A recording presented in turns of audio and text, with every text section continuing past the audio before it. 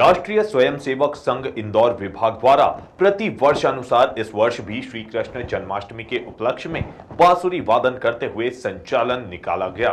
संचालन मल्हार आश्रम से प्रारंभ होकर तिलक पथ से राजवाड़ा होते हुए गोपाल मंदिर पहुँचा, जहाँ पर बांसुरी वादन किया गया। समाज को संघ के बारे में जानकारी देने और जन्माष्टमी का पर्व मनाने के लिए राष्ट्रीय स्वयंसेवक संघ ने संचलन निकालकर बांसुरी वादन किया। भगवान श्री कृष्ण का प्रिय वाद भी बांसुरी ही है। इसलिए प्रति वर्ष संचलन निकालकर प्रसिद्ध गोपाल मंदिर पर बांसुरी वादन किया जाता है। संघ के पदाधिकारियों ने गोपाल मंदिर में भगवान श्री कृष्ण को माल्यार्पण भी किया। गोपाल मंदिर पर संघ के स्वयं सेवकों ने पूर्ण गणवेश में पाँच रचनाओं की प्रस्तुति दी। इसके बाद संचलन राजवाड़ा पहुँचा, जहाँ पर भी घोष ने अपनी कई रचनाओं की प्रस्तुति दी। संचलन में इस वर्ष भी कई वाद शामिल किए गए थे, जिसमें नागांक, तुर्य, स्वरद शंख और बांसुरी शामिल था। संचलन में लगभग 100 वादक शामिल हुए। संचलन का समापन मल्हार आश्रम पर किया गया।